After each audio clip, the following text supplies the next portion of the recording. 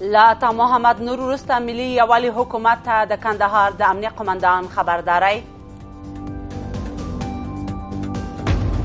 د جمعیت اسلامي ګوند او حکومت ترمنځ د مذاکراتو دوام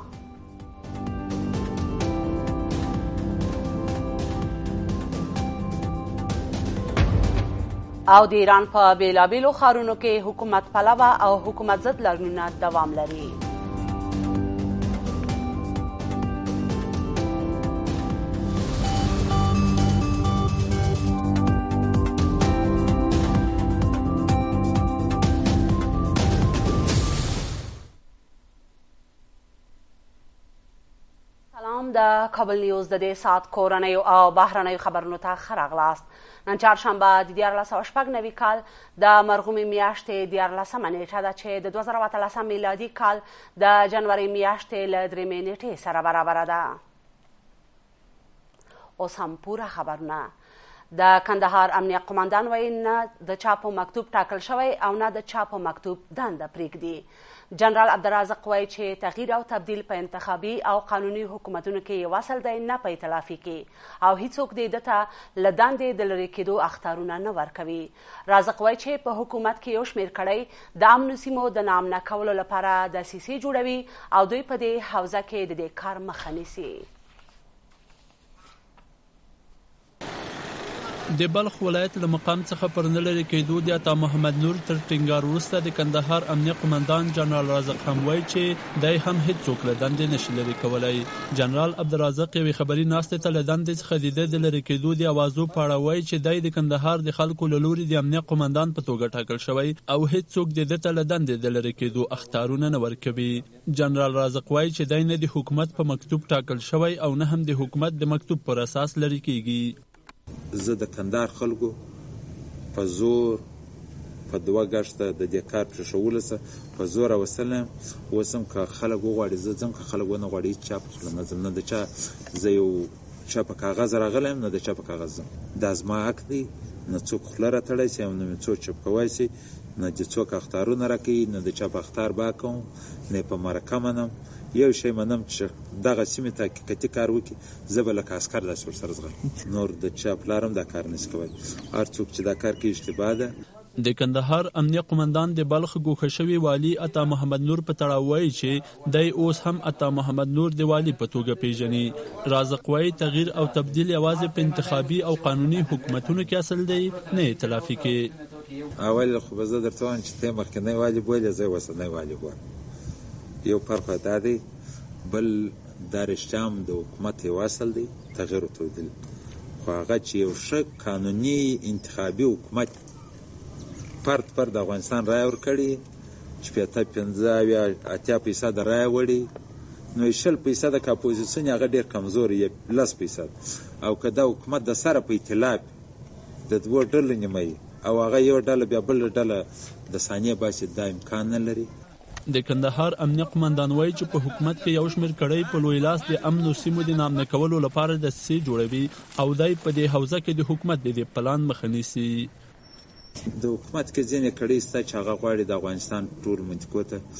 ټولو هغه ارامو ځایو ته دسیسې جوړې کړي او دوی په دې کې شت دا فکر کوي چې موږ دا منطقې ناامنه کړو نو به موږ سیاسي ګټونکي د آینده انتخاباتو یا داسې لپاره دا چې دوی په هر فکر دي دا غلطیا ده. که خلګ وغواړي چي دوی هر څه نامني جوړ کړي دا به دوی په در نه خوري. د کندهار امنیه قومندان داسې مهال پر خپله دنده د پاتې کېدو خبره کوي چې څو ورځې مخکې د بلخ ګوښه شوي والي عطا محمد نور وویل چې د ده تر لرې کېدو وروسته حکومت د کندهار امنیه قومندان د لرې کېدو پلان لري. د عطا محمد نور د برخلیک په تړاو د ارګ او جمعیت اسلامي ترمنځ خبرې اترې روانې دي د جمعیت اسلامي ګوند وایي چې د عطا محمد نور د لرې کېدو په بدل کې د بلخ د ولایت په شمول د دوه وزارتو او دوه سفارتونو او د ملي یووالي حکومت توافقنامې د عملي کېدو په اړه خبرې کړې دي د بلخ پخوانی والي عطا محمد نور هم یاد مذاکرات تاییدوي او خبرې اترې د یاد جنجال د حل غوره لار بولي بل پلو د ملي امنیت شورا او د ملي امنیت ریاست د بلخ نامنا کولو په اړه د عطا محمد نور څرګندونې ردوي. بالاخره د دریو اونیو په تېرېدو سره د بلخ له ولایت څخه د عطا محمد نور د لرې کېدو په بدل کې د حکومت او جمعیت ګوند ترمنځ خبرې پیل شوې دي. د دې خبرو اترو په لومړي دور کې د جمعیت له ادرسه صلاح الدین رباني محی الدین مهدی، واقف حکیمی او عبدالستار مراد او د حکومت له ادرسه معصوم ستانکزی، حنیف اتمر او د چارو ادارې رئیس سلام رحیمی یاد مذاکرات پر مخ وړي. د دې ناستې په اړه چې تر اوسه یې معلومات رسنیو ته نه دي ورکړل شوي، ویل کیږي چې جمعیت اسلامي د بلخ ولایت له مقام څخه د عطامحمد نور د لرې کیدو په بدل کې د بلخ ولایت امنیه قومندانۍ په شمول د پوهنې، اقتصاد وزرتونو او د دوو بهرنیو سفارتونو د ورکړې په اړه حکومت ته وړاندیز کړی. دغه وړاندیز شوې کڅوړه د جمعیت د رهبرۍ غړي نه ردوي او زیاتوي چې تر څنګ یې د ملي یووالي حکومت د توافقنامې تطبیق او ټاکنیز اصلاحات هم شامل دي.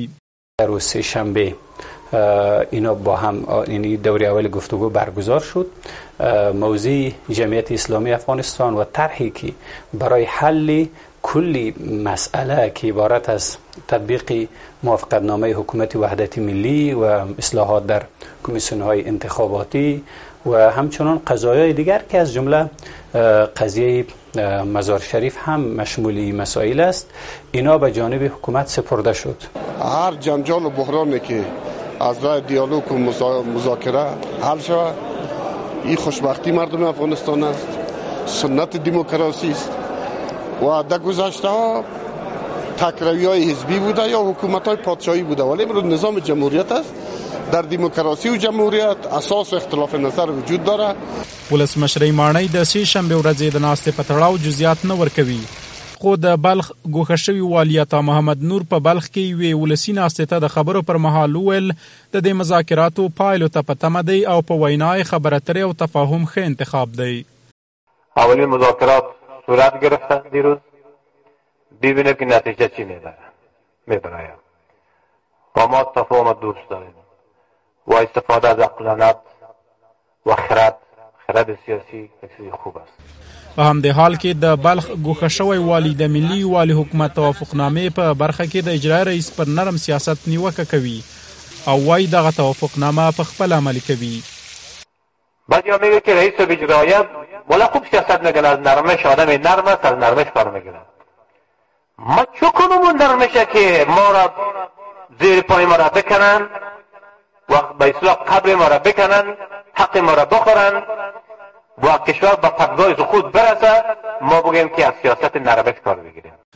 بلخوا د بلخ نوی والي هم د عامو خلکو د مصلح کولو په تړاو د عطا محمد نور څرګندونې ردوي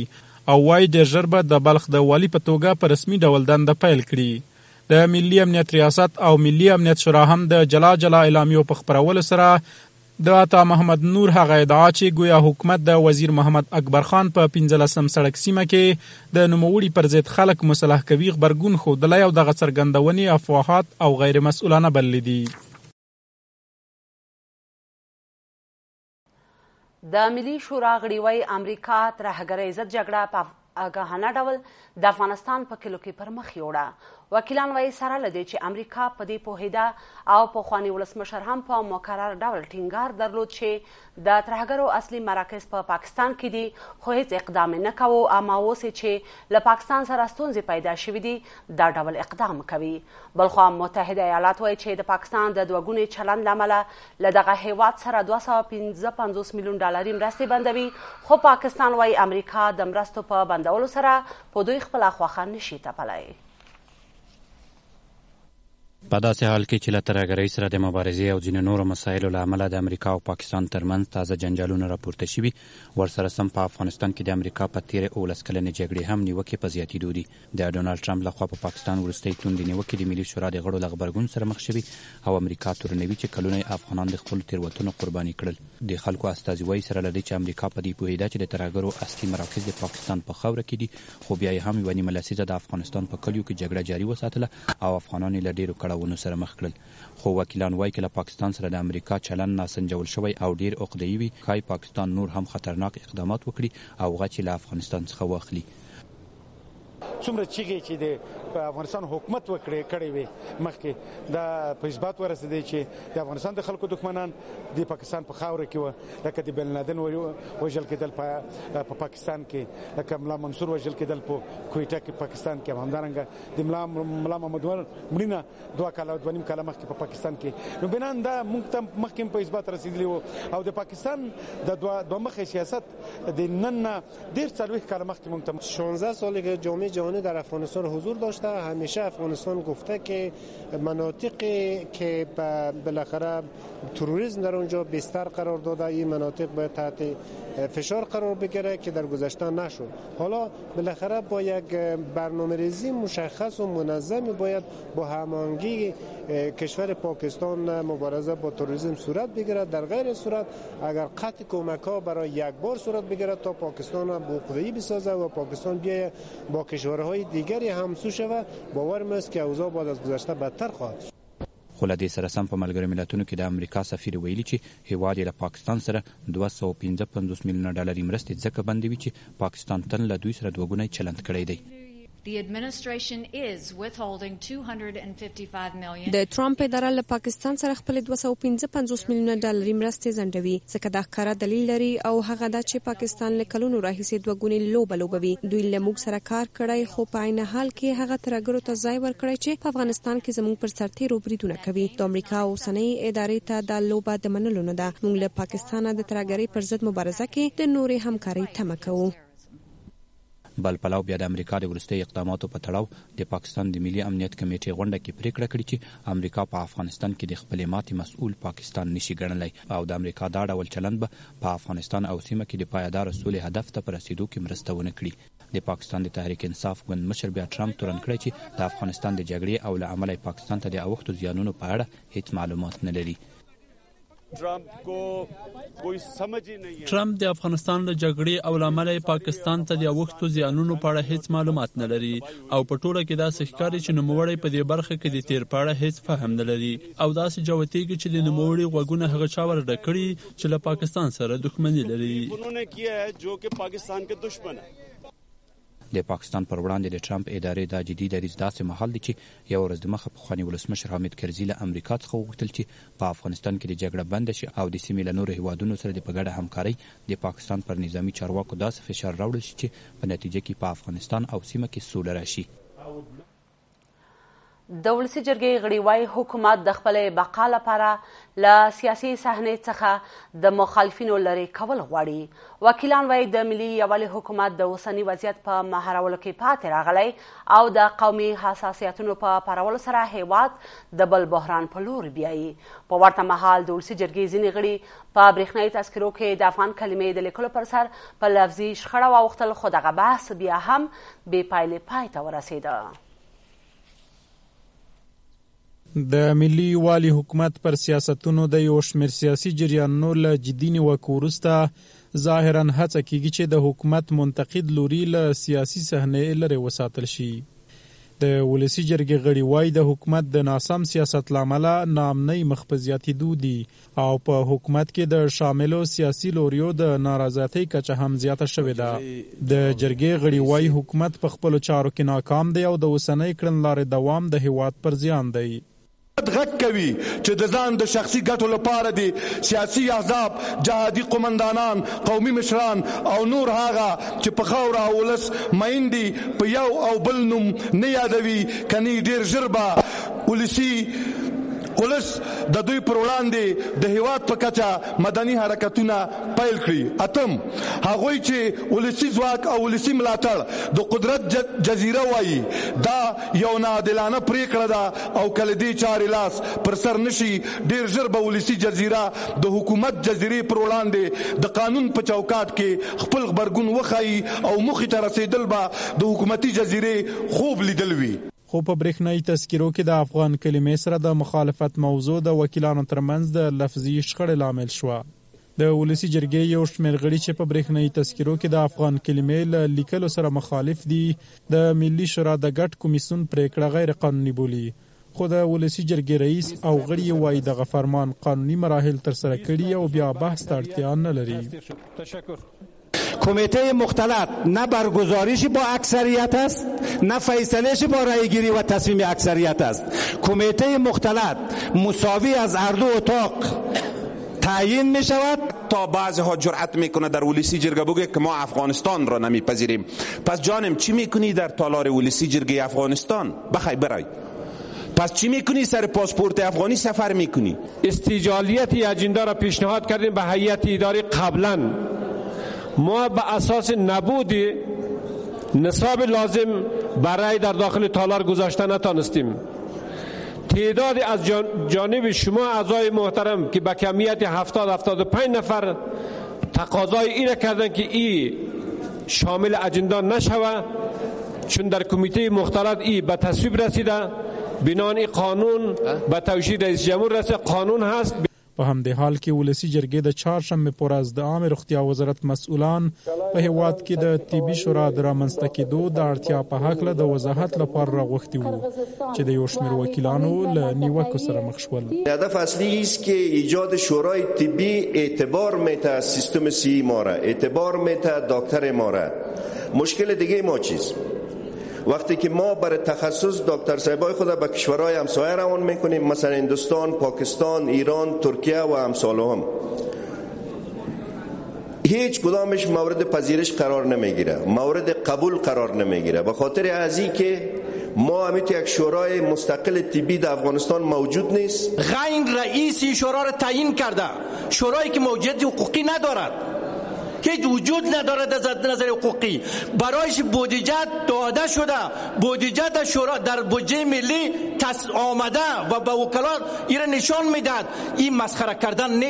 ای بې سواد خواندنې مار نیست. د ولسي جرګې غړو پر حکومت نیوکه وکړه چې د راتلونکو پارلماني ټاکنو د ترسره کېدو اراده نه لري او د کمېسیون له لوري د رایه ورکونې تازه مرکزونه د شته واقعیت پر ځای د ناسم اټکل له مخې ایجاد شوي دي. په کابل ښار کې د داعش یوه ترهګره شبکه چې کورنۍ او بهرنۍ اړیکې درلودې د ملي امنیت له لوري ونیول شوه د ملي امنیت له لوري په خبره شوې خبرپاڼه کې راغلي چې دغه شبکې پلان درلود په کابل ښار کې یو لړ ستر ترهګریز بریدونه ترسره کړي په خبرپاڼه کې راغلي یادې شبکې کابل ښار ته د ځانمرګو بریدګرو په لیږد او هغوی ته د اسانتیاو په برابرولو کې فعال رول درلود خبرپاڼه زیاتوي د دغه شبکې د غړو شمیر دیارلس تنو ته رسیږي چې کورني او بهرني ترهګر هم پکې شامل دي د تبیان فرهنګي مرکز مسولان وایي داعش په مستقیم ډول د امریکا له لوري حمایه کیږي د دغه مرکز رئیس د یوې خبري غونډې په ترڅ کې ویل چې په تبیان مرکز او دې ته ورته بریدونو کې ستر قدرتونه لاس لري چې ظاهرا مسولیت داعش وسلوال پر غاړه اخلي بل پلو دوی له امریکا سره امنیتي تړون د روانو بدبختیو اصلي عامل بولي او وایي امریکا د افغانستان ستونزو ته د رسیدګۍ پر ځای په خپله ستونزې جوړوي په تیبیان فرهنګي مرکز د خونړي برید مسولیت چې داعش وسلواله ډلې ومنو خو د دې مرکز مسولان بیا د یاد برید تر شا د سترو قدرتونو لاس بولي د دغه مرکز رئیس د چهارشنبې په ورځ د یوې مطبوعاتي غونډې په ترڅ کې وویل داعش وسله واله ډله په مستقیم ډول د امریکایانو له لوري حمایه کیږي ترڅو د یاد ډلې په مرسته خپل اهدافو ته ځان ورسوي دوی وایي په تبیان مرکز او دې ته ورته بریدونو کې ستر قدرتونه لاس لري چې ظاهرا مسولیت یې داعش وسلوال پر غاړه اخلي او په افغانستان کې د روان وضعیت اصلي عاملان هم امریکا غرب او د دوی متحدین دي گروه های تروریستی را در افغانستان و در سایر کشورهای اسلامی ایجاد کرده است و حمایت می کند و پشتیبانی می کند خود آمریکایی است امروز شما در تمام دنیا در هر جایی که ظلم می بینید در هر جایی که ناآرامی می بینید در هر جایی که کشتار می بینید در رأس اون حرکت و اون شبکه زمامداران آمریکا و عناصر وابسته و تحت امر اینها لا دې وړاندې داعش ډلې په جماعتونو، لاریونونو او نظامی تاسیساتو بریدونه کړي وو، خو د شیا لږکیو فرهنګي مرکز په نښه کول بیا لومړی ځل وو. په یاد برید کې چې نږدې پنځوس تنه مړه او له سلو زیات ټپیان شول، په روغتونونو کې د ډېرو ټپیانو وضعیت اوس هم د اندېښنې وړ دی. بل پلو د تبیان فرهنګي مرکز مسولان په افغانستان کې امنیتي وضعیت لا بل هر وخته بحراني بولي دوی وایي سربیره پر دې چې افغانستان له امریکا سره امنیتي تړون لري خو امنیتي وضعیت د ښه کېدو پر ځای لا پسې کړکېچن کیږي دوی له امریکا سره امنیتي تړون د بدبختیو اصلي لامل بولي او زیاتوي امریکا د افغانستان ستونزو ته د رسیدو پر ځای پخپله ستونزې جوړوي از حکومت افغانستان میخواهیم که آقای اشرف غنی آقای دکتر عبدالله شما گفته بودید که اگر پیمان استراتژیک با آمریکا امضا شود وضع افغانستان خوب می شود اگر پیمان امنیتی امضا شود وضعیت امنیتی افغانستان خوب می شود تکنوکرات ها و وابستگان غرب گلویشان را پاره می کردن که اگر به هر حال اینجا این دو تا پیمان امضا نشود افغانستان برمیگردد به دهه افتاد اما حالا ما میبینیم که از دهه افتاد هم بدتر است مزاری همدارنګه وروستیو سیاسي اختلافاتو ته په اشاره وایي چې حکومت او سیاسي جریانونه باید په ګډه افغانستان له روان امنیتي اقتصادي او سیاسي بحران څخه وباسي ترڅو افغانستان د سترو قدرتونو د جګړې په مرکز بدل نشي د کابل په څرخي پله زندان کې په نشه یي توکو روږدي زندانیان وایي د امنیتي مسولان له لوري پرې نشه یي توکي پلورل کیږي یو شمېر بندیان چې د اوږده بند له امله په نشه یي توکو روږدي شوي وایي چې د څرخي پله په زندان کې نشه یي توکي په اسانۍ سره ترلاسه کولی شي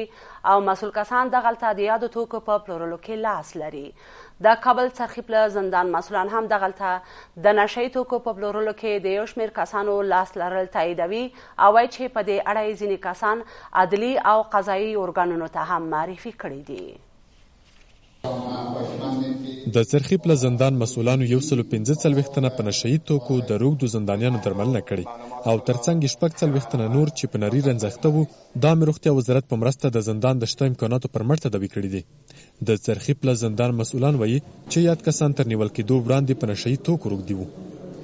اکثرا مجرمینی که در ساحه پل سوخته و در اونجا معتاد به مواد مخدر است اونا وقتی که یک جرم میکنند یک چیزی را یا سرقت میکنند یا یک جرم دیگه میکنند و توسط پلیس دستگیر میشود و میآید به توقیف کابل و از توقیف کابل ده هر ده نفره که به طور مثال به معبس مرکزی انتقال داده می شود ده ده نفر چهار نفرزی معتاد به مواد مخدر است.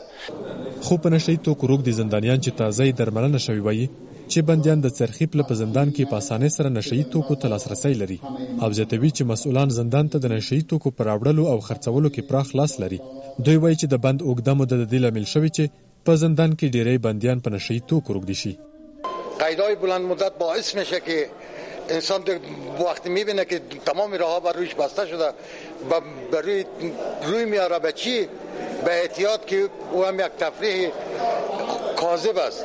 بیا هم چې دا مواد مخدر دلته راځي دا خو ګرده پرسونل او ټول هر څوک لاس پرې کوي څنګه ما ته راځي ما شپږ کاله تېر کړي په هېواد نه کومې خوا کې په ورته مهال د څرخي پله زندان مسؤلان هم تاییدوي چې یو شمېر کسان دغلته د نشهيي توکو په پلورلو کې لاس لري او په وینا یې موده وړاندې یې په همدې تړاو ځینې کسان عدلي ارګانونو ته هم معرفي کړي دي. مسؤلان زیاتوي چې ډېر کله بندیانو ته د ملاقات په هدف راتلونکي کسان یا توکي بندیانو ته رسوي. موږ یو څلور نفره پرسونل نیولي دي، امنیتي پرسونل نیولي دي او هغه مو څارنوالي ته معرفي کړي دي. موږ دا نه ردوو چې امکان لري چې بعضې هغه ورته راځي، بعضې د پرسونل له طریقه بعضې شیان که راغلي هم دي موږ په وخت و زمان ګرفتار کړي کړي دي، یو تعداد خلکو ته د پایوازانو په ذریعه باندې راځي، طبقې وناس په ذریعه باندې راځي. د څرخي پله په زندان کې د مسؤلانو له لوري د نشه يي توکو د پلورلو په اړه دغه راپورونه داسې مهال دي چې دا مهال په نوموړي زندان کې سلګونه نور کسان هم په نشه يي توکو روږدي دي. او په منظمه توګه د نشه يي توکو پیرلو ته لاسرسی لري. بهرني خبرونه به تر لږ ځنډ وروسته وړاندې شي له موږ سره اوسئ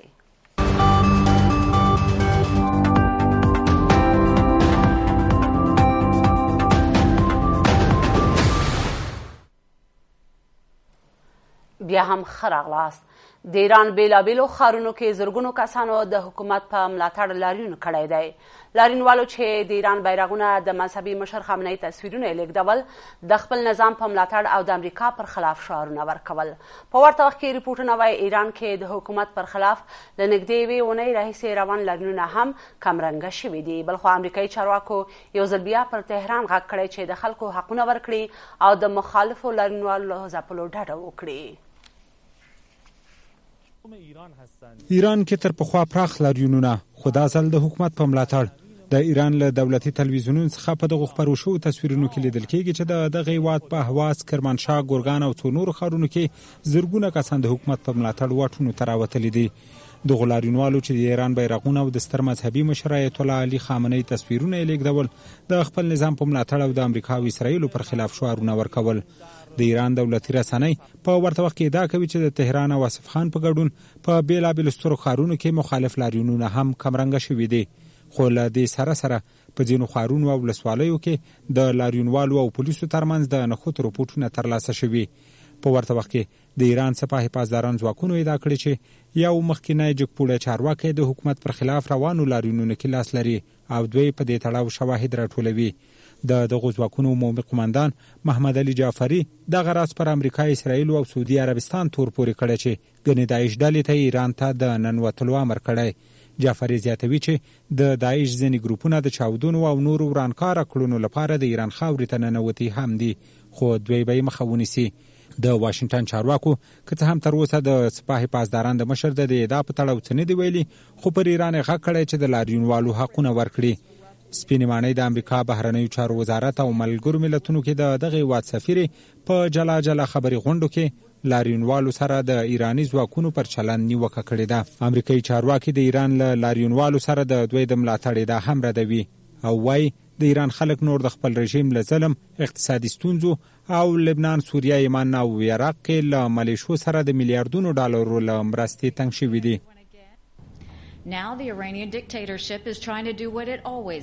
د ایران دیکتاتورۍ اوس هڅه کوي د تل په څېر ادعا وکړي چې ګنې دا لاریونونه د ایران دښمنانو سازمان کړي دي. موږ ټول پوهېږو چې دا یوه کاملاً بې معنا ادعا ده. دا لاریونونه په بشپړه توګه خود جوشه دي.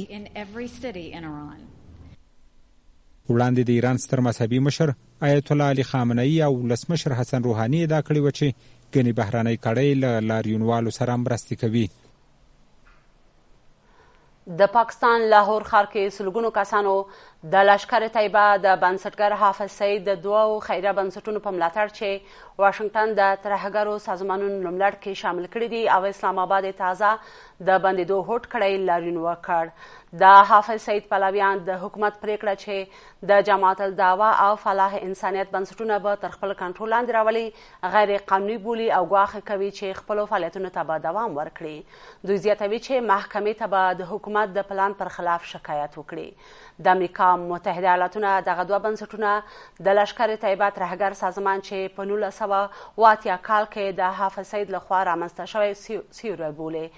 هند او واشنګټن په دوه زره او اتم کال کې د ممبۍ د خونړۍ بریدونو پړه هم پر همدې ډلې اچولې او له همدې کبله د حافظ سید پر سر هم د لس میلیونه ډالرو جایزه ټاکل شوې ده فلسطینی چارواکي وایي بیت المقدس نه خرڅوي د فلسطین د ولسمشر یو ویاند ویلي بیت المقدس په سرو او سپینو زرو هم نه بدلوي او نه به د ګواښلو له مخې پریږدي هغه زیاته کړې چې که امریکا رښتیا سیمه کې د سولې غوښتونکي وي نو په دې لار کې باید صادقانه هڅې وکړي. د فلسطین چارواکي دا څرګندونې تر هغې وروسته کوي چې د امریکا ولسمشر ډونالد ټرمپ پر فلسطینیانو د مالي مرستو د بندیدو ګواښ وکړ. ټرمپ پر خپل ټویټر لیکلي دا ګام د دې لپاره اخلي چې فلسطینیان نور د سولې خبرو اترو ته لیوال نه دي. شمالي کوریا له خپل سویلي ګاونډي سره د عاجلو ټلیفونو اړیکو لیکه له سره فعاله کړه. د پینګ یانګ چارواکي وایي دغه لیکه د دوی د مشر کیم جونګ اون په امر بیرته فعاله شوې او د سویلي کوریا چارواکو سره به پرې راتلونکې میاشت دغه هیواد کې د ژمني اولمپیک لوبو ته د ځینو ورزشکارانو د لیږلو په اړه خبرې وکړي. د ټلیفون دغه عاجله لیکه چې د دواړو خواو ترمنځ د احتمالي جګړې او نورو خطرونو د مخنیوي لپاره جوړه شوې له دوو کلونو راهیسې د پیونګ یانګ له خوا بنده وه. سویلي کوریا د پیونګ یانګ دا ګام ستایلی او هیله یې ښودلې چې د اړیکو له ښه کېدو سره به مرسته وکړي. په ورته وخت کې د امریکا ولسمشر دونالد ټرمپ د شمالي کوریا د مشر د اټومي وسلو ګواښ ته په ځواب کې ویلي چې د ده په میز هم د اټومي وسلو تڼۍ تل ایښي او د دوی اټومي تڼۍ د نوموړي په وینا له شمالي کوریا خورا ستره ده. او وروستی خبر دا چې د پیرو پلازمنې لیما ته نږدې له غره څخه د یو بس د ښویدو په پیښه کې د وژل شوو کسانو شمیر اته څلوېښت تنو ته لوړ شوی دی چارواکي وایي دغه بس چې تر پنځوسو ډیر کسان یې لیږدول د لیما د شمال په غرنۍ سیمه کې له یو ټیلر سره تر ټکر وروسته ګړنګ ته پریوتی دی دوی زیاتوي دا پیښه د لوی لارې په یو موړ کې رامنځته شوې ده پولیس وایي پیښه کې شپږ کسان ټپیان شوي هم دي خو روغتیايي وضعیت یې نازک دی دا په تېرو څو کلونو کې پیرو کې تر ټولو خونړۍ ترافیکي پېښه بلل شوې ده.